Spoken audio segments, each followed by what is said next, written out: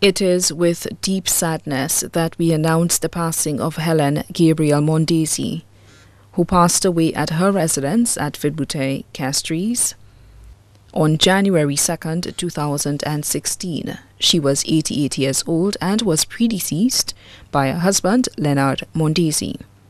Left to mourn her daughter, Miranda Alexander and family of Cap Estate. Her sons, Dr.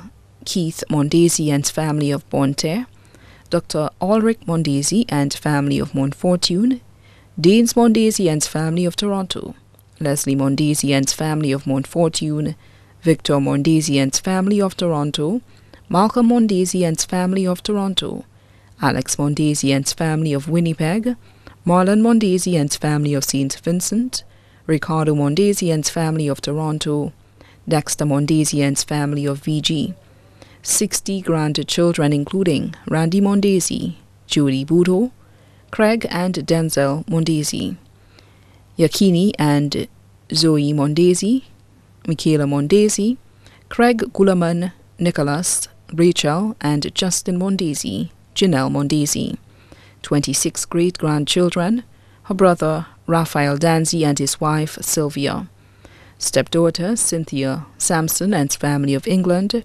special niece and nephew Sarah and Jenna Lynn, Lindell Gustav and family, Patricia Gajada and family, her caretakers, Teresa, Jennifer, and Tata.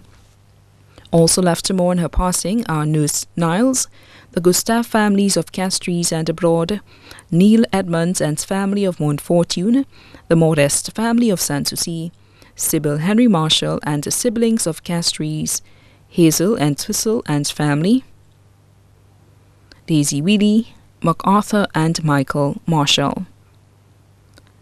Marthy Versailles and family of Martinique, Victor Calix and family of Martinique, Helen Tavernier and family of Martinique, the Hunt family of Monroe, Gaspar Auguste and family of Toronto, Scott's Underground and family and Doxery family, Mrs. St. Clair and family, and many other friends and family in St. Lucia and abroad.